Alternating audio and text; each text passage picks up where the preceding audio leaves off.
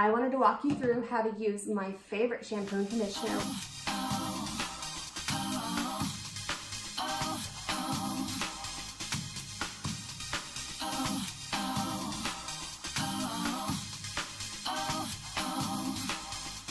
For all of my hair, I use about a dime size amount of each.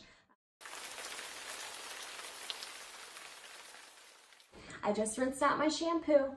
I keep one of these wide tooth combs in my shower. Just because if you have all these tangles and stuff, you're not gonna be getting the product evenly distributed in your hair. Always keep your number five upside down because it is so super thick.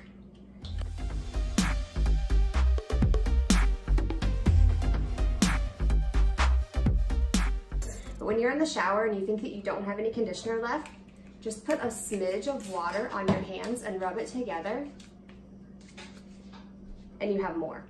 Yeah, you think you're out, but you're not. And then I'll take my combs and I'll just gently comb it through, make sure everything has conditioner on it because you really want to give that Olaplex number five time to work because it does have the same patented chemistry that all Olaplex products do. So it is actually rebuilding at the same time that it's conditioning. So um, the longer you can leave it on, the better. Three to five minutes. Just rinse out my conditioner, put my hair up in a towel. I'm gonna do a rough blow dry and I'm gonna rough dry it probably 75% of the way.